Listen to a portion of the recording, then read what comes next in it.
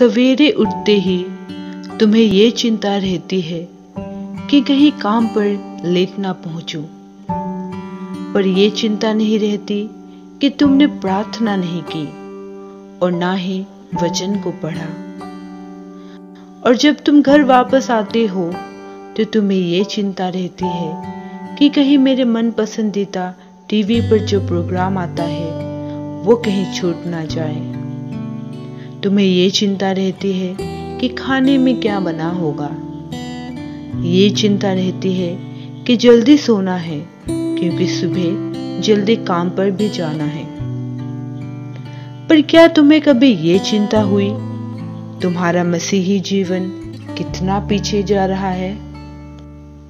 आज तुम्हारे पास समय नहीं रहता, न प्रार्थना करने की, ना ही वचन पढ़ने की। तुम क्यों संसार के कामों में व्यस्त हो चुके हो? क्या दिन के 24 घंटे में तुम्हारे पास दो मिनट का भी वक्त नहीं होता? प्रार्थना और वचन पढ़ने की? तुम क्यों ऐसा बन चुके हो? तुम्हारा प्रेम क्यों ठंडा पड़ता जा रहा है? तुम्हारे पास सुबह उठते ही मोबाइल चलाने का वक्त तो होता है। लेकिन प्रार्थना करने का नहीं। तुम्हारे पास खाना खाने का और बाकी सभी कामों का समय तो होता है, पर वचन पढ़ने का नहीं। तुम्हारी बाइबल दूर कहीं पड़ी रहती है किसी कोने में और उसके ऊपर धूल ही धूल चढ़ती रहती है। हफ़्ते में सिर्फ़ एक दिन तुम बाइबल खोलते हो जब तुम संडे को चर्च जाते हो और वापस आकर फिर से उसी जगह धूल पड़ने के लिए रख देते हो। ऐसा क्या है जो तुम्हें मुझसे मिला नहीं? ऐसा क्या हो रहा है कि तुम प्रार्थना करने के लिए वक्त नहीं निकाल पा रहे हो? ऐसा क्यों हो रहा है? मेरे प्रियो अपने आप को जाँच कर देखिए। ऐसा क्यों होता है हमारे जीवन में?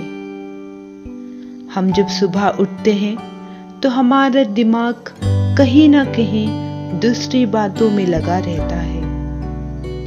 परंतु हम समय नहीं निकाल पाते परमेश्वर के लिए, प्रार्थना करने के लिए या वचन पढ़ने के लिए।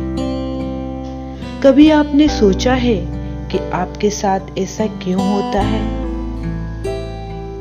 मेरे प्रियो, क्योंकि हम संसार में रहते हैं, संसार हमारे ऊपर हावी होता है। हम संसार को हमारे ऊपर हावी होने के लिए देते हैं। ये इसीलिए होता है क्योंकि संसार नहीं चाहता, ना ही शैतान चाहता है कि आप प्रार्थना करें।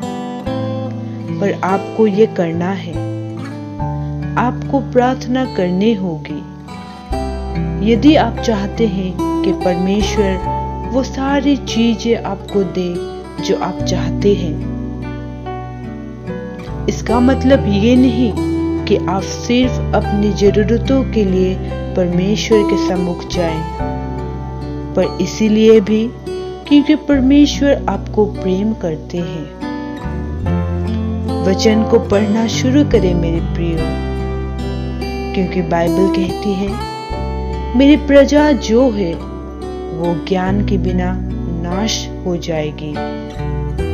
अंत के दिनों में हमसे बाइबल छीन लिए जाएँगे, और वो वचन जो हम पढ़ते हैं, जो हमारे हृदयों के पत्तियों में लिखे हैं, वही हमें याद रहेंगे। मेरे प्रियो बाइबल को ज़रूर पढ़ें और परमेश्वर के लिए समय ज़रूर निकालें। आप सभी को परमेश्वर आशीष दे।